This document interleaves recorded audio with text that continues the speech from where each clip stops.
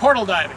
This is one of the greatest games of Lowemannzeit that you'll ever play. The way it works is you have your hula hoop, which is also doubles as your portal, and you also have your divers. Now, what's going to be happening is you're going to be taking your portal and you'll be throwing it, and so you try to get some backspin so it comes back towards you. As it's coming back, one or more of your divers will try to will have to try to dive through it successfully without knocking the portal over. Because as we all know, once a portal falls over, that's when the time stream rips. We don't want that. So, who's going first? All right, so Miss Crest will be going first, and here is the test, the first drive of the portal dive.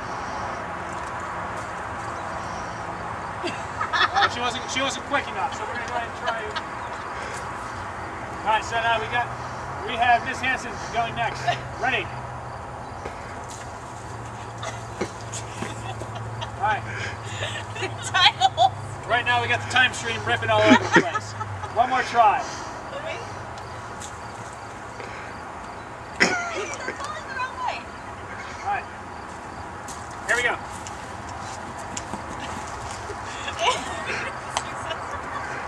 All right. nice. Good done.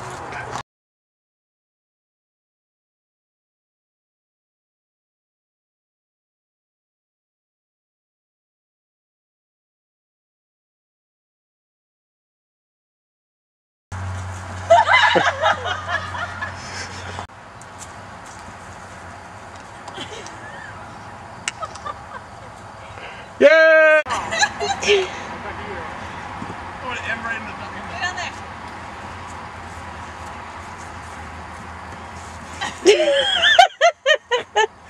It's large.